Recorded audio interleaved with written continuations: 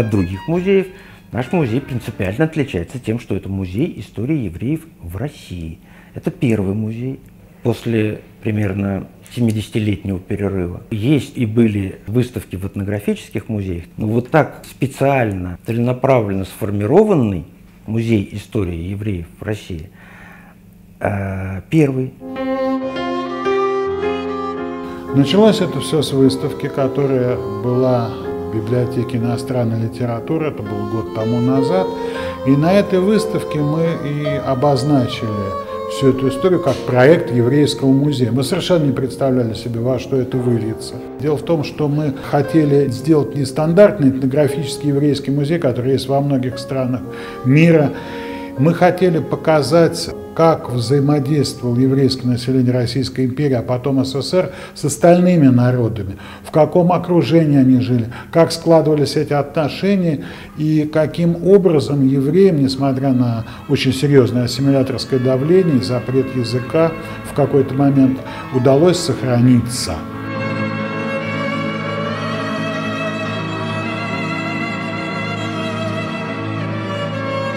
Структура музея в двух направлениях у нас. Первые три зала – тематические залы, образование и благотворительность, религия, семья, традиции, цикл жизни. И исторический, где в развитии, так сказать, показано отношение евреев и власти, где показаны советский период и культура. И вы знаете, сам окунувшись в эту историю, я начинаю вспоминать какие-то вещи из своего детства, о которых я забыл, что это было.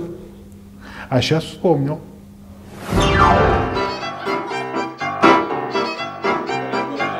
Наиболее ценные экспонаты музея с точки зрения вот быта является сосуд для приготовления пасхального борща и какие-то вот вещи, связанные с э, еврейским бытом, просто ушедшим из жизни напрочь. Это пряничные доски, формы для еврейских коржиков праздничных.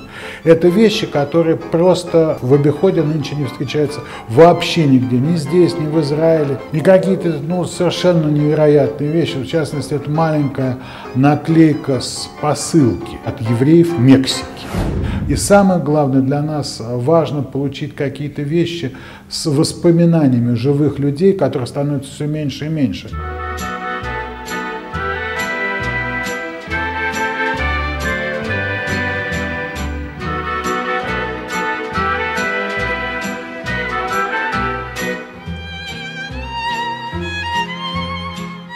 Для меня огромное количество информации, оказавшейся, так сказать, через предметы, через их демонстрацию, просто было абсолютно неведомой, какая-то терра инкогнита для меня. Потому что я не считаю себя совсем необразованным, что-то в жизни читал, ну, гуманитарное образование по определению, но ничего из этого, а, большую часть вернее, я не знал.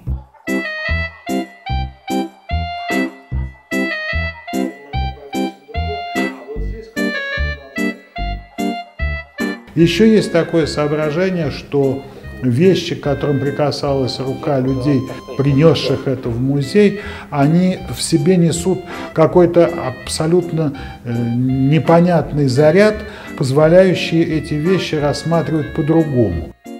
Потому что они становятся говорящими. И это то, что дает аромат, это то, что дает фактуру, потому что живое свидетельство, оно бесценно, его невозможно ни с чем сравнить.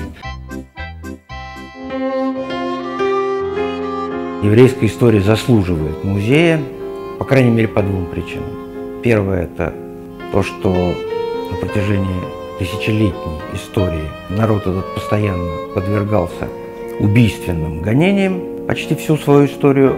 А вторая причина, что народ этот перенес все эти гонения, и тем не менее народ выжил и сохранил свою религию, свои традиции, память о своих пророках в э, религиозной традиции. Ну, а мой отец, сказочник Лев Устинов, говорил, кто из пророков окажется прав, тот и окажется пророком. Donna, donna,